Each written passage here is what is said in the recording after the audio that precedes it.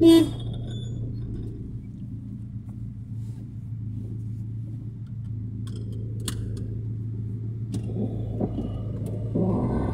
bien amigos. Acá estoy en la ruta 1003, la cual se empalma con la 21 porque dice no, que la 21 es la 21 y no la 1003. O sea que la avenida Patricios es la ruta 21. Pero bueno, acá se empalma con la 1003. Acá del lado derecho tengo el cementerio Santa Mónica. Acá hay un semáforo.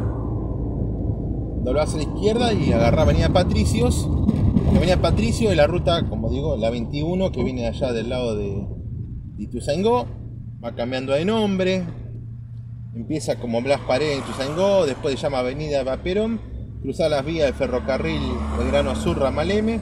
En Libertad se llama Patricios. Pero acá está la ruta 1003. Y este es el tema, acá se unen las dos. ¿eh?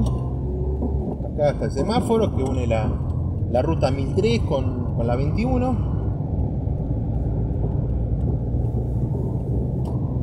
Bueno, acá ya está hoy en Avenida Patricios. Cerca del barrio Rivadavia. Voy a llegar hasta la curva de la Teja, no, no- voy a entrar mucho más porque ha llovido, bueno, hice un par de videos y bueno, filmo esto.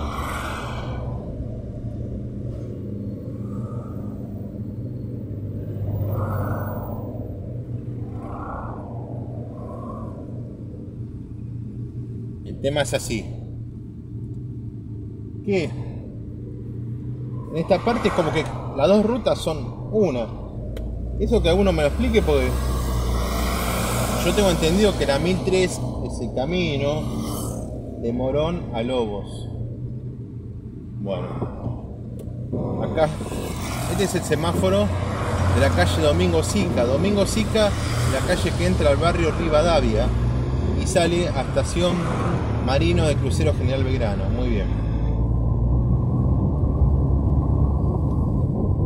Circulo muchas veces por acá porque voy para aquel lado yo, pero esta vez para mostrar en este tramo están las dos rutas, la 21 y la, la 1003. Avenida Patricio. Se puede, después voy a mirar la cámara, a ver si grabó bien.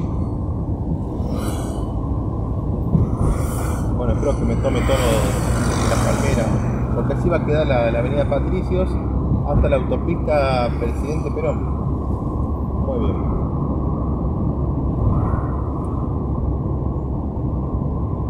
Acá estamos a la altura de Marconi, ya estamos cerca de la rotonda que se hizo.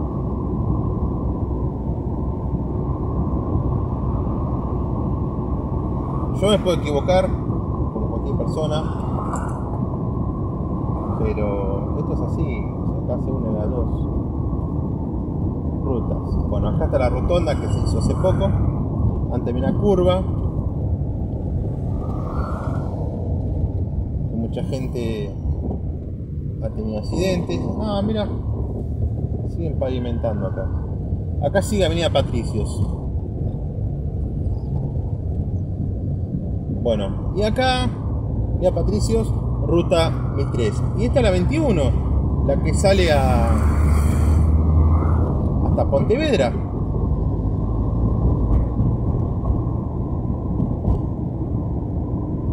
Pontevedra, González Catán, etc. Muy bien. Así que bueno amigos, les mando saludos y espero que les haya gustado el video.